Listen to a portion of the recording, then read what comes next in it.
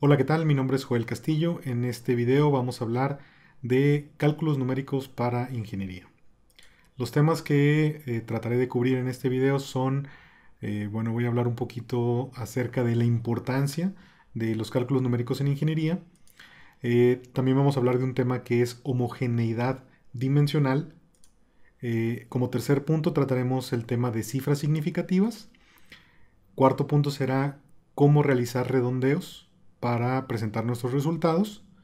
Y como último punto será eh, cómo realizar cálculos numéricos eh, en el procedimiento. Muy bien, entonces, ¿por qué es importante hablar de cálculos numéricos en ingeniería? Bueno, por cuestión de exactitud, por cuestión de precisión, eh, un ejemplo muy básico sería el siguiente.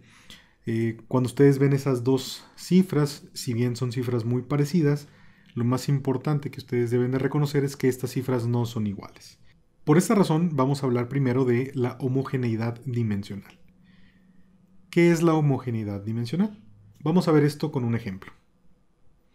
¿Qué pasa si yo les pidiera calcular la fuerza de la eh, siguiente fórmula, que es fuerza igual a masa por aceleración, si m es igual a 2.2046 y a es igual a 1? Pues muy seguramente estaríamos tentados a decir que pues la fuerza va a ser igual a 2.2046 por 1, lo que nos daría un resultado de 2.2046. Eh, obviamente es un procedimiento matemático muy simple, sin embargo lo más importante que quiero que reflexionen es que esto está incorrecto. Está incorrecto porque eh, si bien esta es una fórmula, esta fórmula establece cierta homogeneidad dimensional, es decir, todos los factores involucrados tienen que tener ciertas dimensiones, ciertas unidades para que esto sea correcto. En el caso del sistema internacional, que otro sistema que podemos utilizar es el sistema inglés, pero vamos a trabajar nosotros en el sistema internacional. Establecemos que la fuerza se mide en newtons, que lo voy a expresar con una n. Establecemos también que la masa se mide en kilogramos y establecemos que la aceleración se mide en metros sobre segundo al cuadrado. ¿Qué quiere decir? Bueno, eh, de hecho esto nos da una igualdad precisamente para saber que la unidad de newtons es igual a kilogramos metros sobre segundo cuadrado. Entonces, un problema muy importante de este planteamiento que yo les proporcioné es que no les dije las unidades de la masa y de la aceleración. Si yo les dijera que las unidades de la masa son libras y les dijera que las unidades de la aceleración son efectivamente metros sobre segundo cuadrado, ustedes podrán apreciar que en el ejemplo anterior eh, el resultado nos estaba dando libras por metro sobre segundo cuadrado. Por lo tanto, esto está incorrecto. Entonces, algo muy importante que les voy a estar pidiendo en nuestra clase es que ustedes respeten las dimensiones o las unidades de las cantidades físicas que estemos manejando. El siguiente punto que quiero tocar con ustedes es el concepto de cifras significativas. Si yo les preguntara cuántas cifras significativas tiene este número, este número lo podemos expresar eh, como 3, 4 o 5 cifras significativas. Por ejemplo, si lo queremos expresar con 3 cifras significativas, podemos decir que el resultado o que este número es 12.3 y vamos a utilizar la notación científica por 10 a la 3 que significa por mil. Entonces, aquí podemos apreciar que efectivamente tenemos tres cifras significativas. Sin embargo, si nosotros queremos expresar este número como cuatro cifras significativas, podríamos eh, decir que este número es igual a 1230 por 10 a la 1.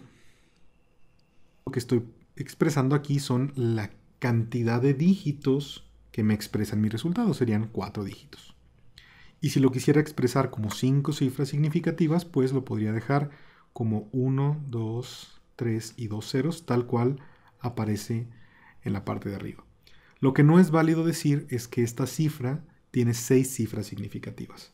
Un 0 del lado izquierdo no nos produce o no lo consideramos como un dígito para una cifra significativa.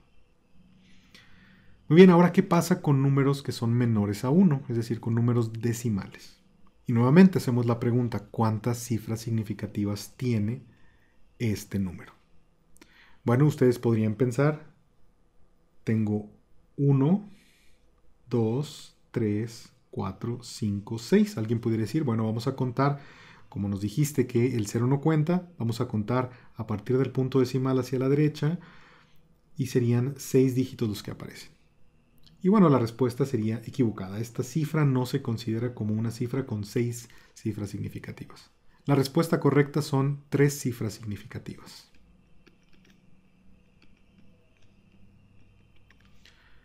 ¿Por qué? Porque nuevamente esto lo podemos expresar de manera eh, en notación científica y podemos expresar que esto es igual a 1.23 por 10 a la menos 3. Muy bien, el siguiente tema que quiero eh, abordar es el tema de cómo redondear. Y bueno, para saber cómo redondear depende mucho de la cantidad deseada de cifras significativas, que es el concepto que te acabo de presentar. Y nuevamente aquí tengo un ejemplo. Imagínense que ustedes tuvieran esta cantidad de 3.5964 y quisiéramos eh, saber cómo representar este número dependiendo de la cantidad de cifras que me piden. Y vamos a empezar con cuatro cifras significativas. Como recuerdan, las cifras significativas son la cantidad de dígitos que presento en mi resultado. Por lo tanto, si yo quisiera representar cuatro cifras significativas, lo correcto sería pues presentar solamente cuatro dígitos, que serían 3, 5, 9 y 6. Esas serían cuatro cifras significativas. Como pueden apreciar, desapareció el 4. Y aquí es la importancia del redondeo. ¿Por qué desapareció el 4? Bueno, como regla vamos a utilizar que cuando el dígito siguiente a las a la cantidad de cifras que estoy redondeando va de 0 a 4, entonces voy a redondear hacia abajo. Y por el contrario, cuando ese dígito va de 5 a 9, entonces voy a redondear hacia arriba. Entonces, este primer ejemplo estuvo muy sencillo, simplemente copiamos los dígitos tal cual. Bueno, pero ¿qué pasa entonces cuando queremos tres cifras significativas? Aquí viene lo interesante. Si queremos tres cifras significativas, el resultado correcto sería 3.5 y el siguiente dígito es el último que vamos a, poner porque queremos tres eh, dígitos. Y vemos que ese dígito es el 9. Sin embargo, el siguiente dígito del 9 es un 6. Por lo tanto, con lo que les acabo de comentar, como el dígito está entre 5 y 9, o dentro del rango de 5 y 9, lo que voy a hacer es redondear hacia arriba. ¿Hacia arriba quién? ¿El 6? No, el 9. Por lo tanto, el 9 lo voy a, a cambiar a 0, pero realmente ese 0 es un 10. Es decir, que entonces correctamente es 3.60 como tres cifras significativas. ¿Qué pasa en dos cifras significativas? Vamos a ver que pasa algo muy similar. Voy a copiar el 3, después el siguiente dígito es un 5, pero ese 5 es el último dígito que voy a copiar. Por lo tanto, me fijo en el dígito que está después del 5 y veo que es un 9. Por lo tanto, voy a redondear hacia arriba.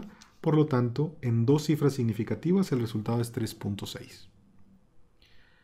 Y por último, vamos a ver el ejemplo de si quisiera solo una cifra significativa.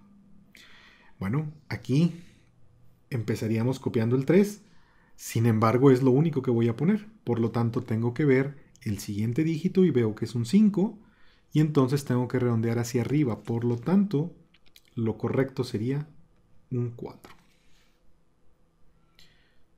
Y estas son las reglas de redondeo que vamos a estar manejando.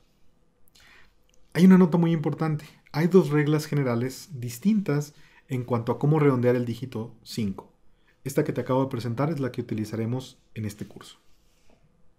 Por último, vamos a ver eh, cómo realizar cálculos numéricos en procedimientos.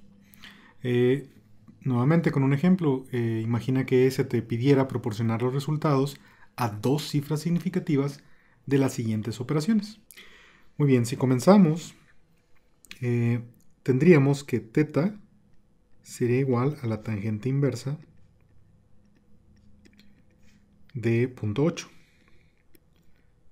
Eso en la calculadora nos va a dar aproximadamente 38.6598 grados. Obviamente te puede dar más, eh, más decimales, pero por lo pronto eh, para este ejemplo es suficiente con esa cantidad de decimales.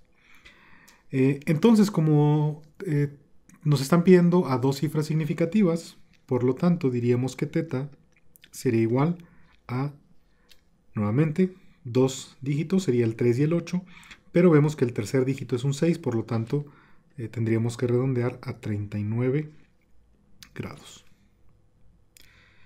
Y después tendríamos fx, que sería igual a 25 eh, libras por el coseno de ese ángulo. Bueno, y aquí es la pregunta importante, ¿cuál de los dos tomo? Muy bien, si tomo el de 39 grados, el resultado me va a dar 19.5217. Sin embargo, eh, libras, perdón. Sin embargo, si tomo el primer resultado, que es el resultado sin redondear, el resultado me va a dar 19.4286. Esto después de redondear me va a decir que el resultado es, como vemos aquí, tenemos un 5, por lo tanto esto se redondaría como 20 libras. Y del otro lado, este es un 4, por lo tanto esto se redondearía como 19 libras. ¿Cuál es la conclusión? Bueno, la conclusión es que cuando estés realizando procedimientos, no debes de realizar cálculos con números que fueron redondeados previamente. Muy bien, muchas gracias por tu atención. Eh, nos vemos en el siguiente video.